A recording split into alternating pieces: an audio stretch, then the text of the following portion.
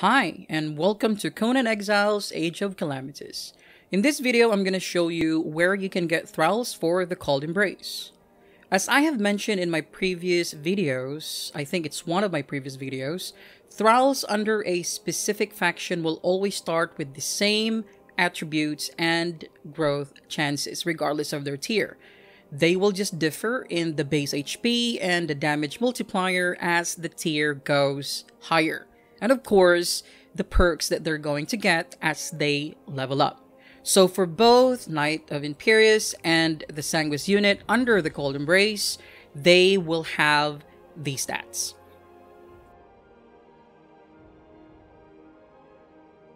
Let's start with the captain of the Cold Embrace, T6. The same attributes and growth chance as shown earlier, but with a starting HP of 6,944. Damage multiplier 1.98 for melee and 3.66 for ranged. And the commander of the Cold Embrace, T7, same attributes and growth chances, with a starting HP of 7,750, damage multiplier of 2.14 in melee and 4.34 in ranged. Onto the T8 Empyrus Knight, the same attributes and growth chance then again, but with a higher HP of 8680, damage multiplier, melee 2.48, range 5.04. And the T9, of course, the Master of the Cold Embrace, same base attributes and growth chance, but with a staggering hit points of 10,168, damage multiplier 2.7 for melee and 6.4 for range. And onto the Sanguis unit. Let's start with the Sanguis Assassin. She is a T7. There is no T6 for the Sanguis unit. She belongs to T7 with the Archer and the Mage the same attributes and growth chance. The plus 12 is for the armor that she is wearing right now. Uh, she starts with 7,750 HP with a damage multiplier of 2.14, range 4.34. Next is the T8 for the Sanguis unit, the commander. Same attributes and growth chances, but with a higher starting HP of 8,680 damage multiplier of 2.48 for melee and 5.04 ranged. And the highest, the T9 Sanguis Superior. Same attributes and growth chance, but with T9 HP of 10,168, damage multiplier 2.7 melee, and 6.4 ranged. So in an early game, there is a spot here in L5 right here on the map where you can find T1 to T2. Uh, there will be like six in combination of T1 and T2, and there should be one profession thrall with them. So there we go, that's a T2, footman.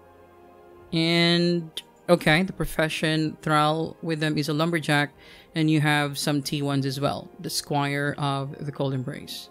So this is perfect for early game if you want a Cold Embrace Thrall.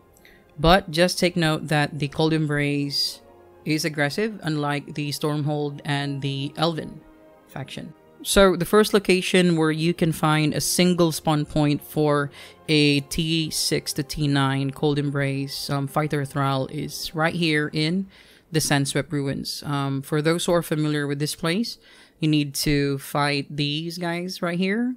They're quite painful, so be careful if you are still low level. And you just go straight ahead. So this is a very familiar place for those who have um, finished the Conan Exiles vanilla um, world where you come here and then you purchase a Scourge Stone so that you can remove your bracelet and free yourself from the uh, slavery of the Exiles land. So again, be careful because Cold Embrace camps are aggressive. All of them. So the only spawn point for a T6 to T9 is right here on the left. As of the moment, we have the Empyrus Knight, that's a T8. And also, you can find some Crafter Thralls or a Dancer or Performer in that spot where the Taskmaster was. And talking about being careful, we have bunch of T5 fighters, a combination of soldiers and archers. So it's gonna hurt a lot if ever you come here alone.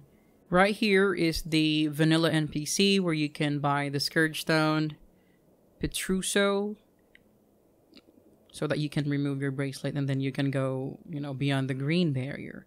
And this guy in black robe where you can also buy the demonic blood eyes aesthetics if you want that.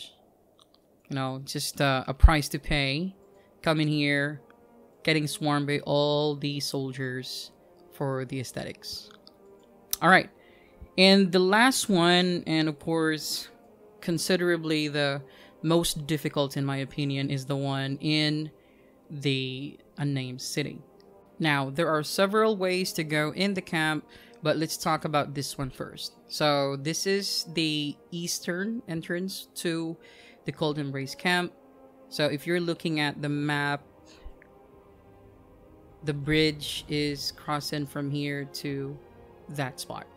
So, if you take this route, you have to fight through the Vangul uh, soldiers behind me, and also there will be two uh, servants of Wraith. Sometimes it's red and blue or blue or blue. Both red and red makes to make things worse. And at the end of the bridge, you will be welcomed by two hooded figures, two Zinarises, mini bosses. And not only that, you will have a bunch of soldiers behind them with one officer. So it could be a T6, 7, 8, or 9 waiting for you, you know, just to jump on you and asking you why you're there for whatever reason. Now, just follow the path here and you will see one Zenaris patrolling the area. So there will be like three of them all in all. So just be careful because in my experience, when one attacks you, the other two follow. I don't know if it's by design, but that happens all the time. There's also one spot here where you can uh, check on potential T6 to T9, Sanguis Assassin's unit. They're so easy to spot. And the only named Taskmaster is also here. It's a guaranteed spawn because she's the boss. And the spawn point for the T9 or the T8 and T9 for the Sanguis units. This is the only spot where they spawn no other camps. Now, in one of the instances that I came here, I was lucky enough to find a spawn, a very rare spawn of an armorer, a named armorer, Lucia Rose the Weaver. So that's where you can find her, and also she can spawn in any of the spawn points for the Sanguis Assassin. So this time we have the Performer, so again, it's either T8 or T9 in that spot right there. Now, there is another way. Here we go. So from the desert, and then you have to go through these guys right here. Let me show you. Alright, so from afar, you will only see some specters, you know, walking around. That's quite easy. You know, you can deal with them very easily once you're already high level. But that's not the case. Alright, as you can see, this place has, and if my counting is correct all the time, four to five Scourge Reapers lurk around this place. Now, they are not friendly with each other. That's why they're fighting. And you're probably, you know, you can probably hope that the skeletons and the specters would win, but no. Right? And the way to go inside is not that easy because of those two spikes at the side of the ladder. There we go. See?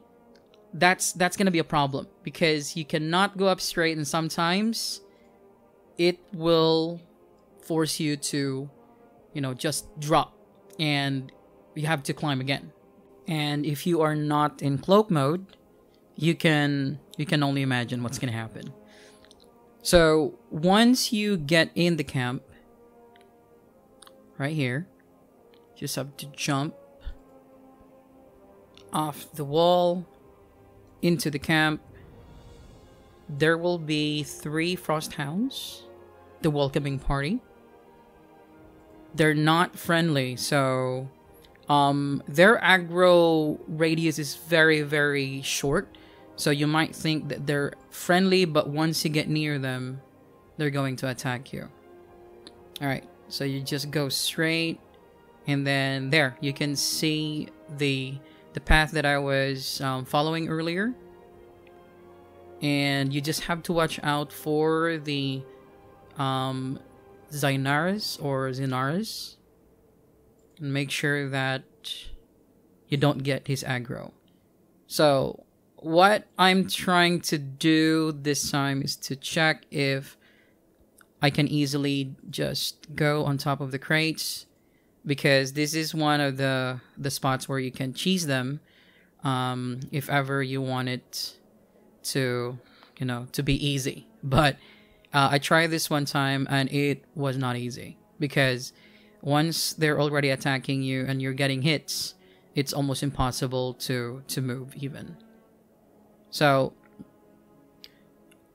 if ever you're planning to get thralls or to raid the place for resources or um, mine the nodes, then make sure that you bring your whole squad with you, or at least a considerable amount of people raiding the place. Now, if ever you're able to manage to knock down uh, a fighter thrall or any of the crafter thralls that you want to get, um, I haven't found any other way aside from you know the bridge. If you've found uh, an easier way please let me know in the comment section down below.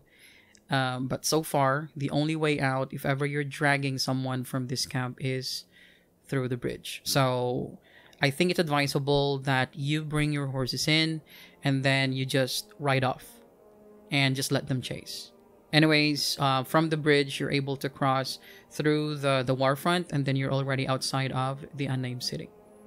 Now i found a an exploit i think or a sneaky way in in where you don't have to fight the guys guarding the the wall and also you don't have to fight the guys guarding the bridge.